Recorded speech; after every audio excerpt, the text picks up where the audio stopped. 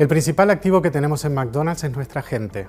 Por eso, obtener el certificado de modelo de certificación de la igualdad de género de AENOR representa un reconocimiento a la labor desarrollada por recursos humanos que nos indica que estamos trabajando en el camino adecuado, creando un buen entorno de trabajo inclusivo y respetuoso.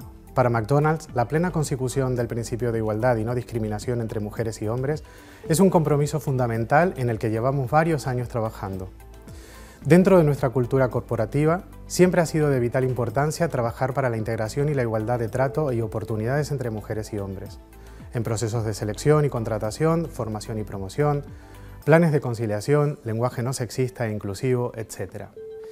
El plan de igualdad de McDonald's es transversal y dinámico, evoluciona en función de la realidad, previene la discriminación y reafirma el compromiso de McDonald's por garantizar la igualdad de derechos sin distinción por motivos de raza, sexo, idiomas, procedencia, religión u otros factores.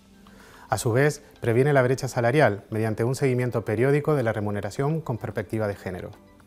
Como próximos pasos, seguiremos trabajando para ampliar todavía más nuestro plan de igualdad y extenderlo a todo el sistema McDonald's un objetivo para el cual contamos con el apoyo de nuestras franquiciadas y nuestros franquiciados.